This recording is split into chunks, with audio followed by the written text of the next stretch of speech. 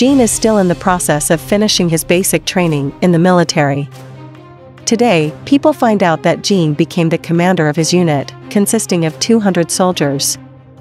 The badge on his uniform says that Jin was chosen as the commander of his platoon.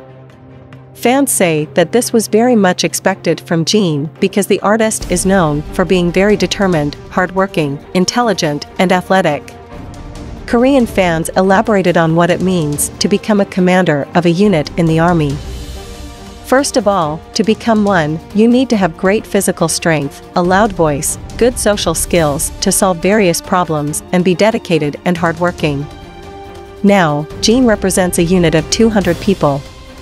If there's an event, he talks as a representative, reports on the company's roll call, be a great example for other soldiers, and speaks on behalf of the people of his unit. The commander is chosen by voting among the trainees, which means Jin was selected to be one.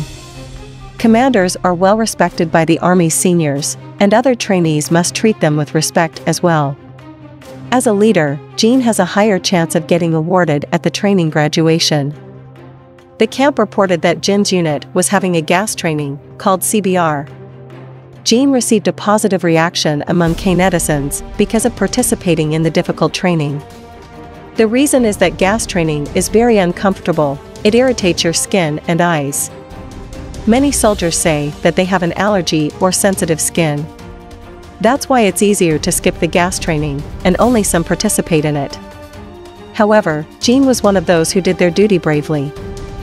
Jin becoming a commander became a hot topic on theqoo, and here are some of the top comments. Commander Jin is very brave.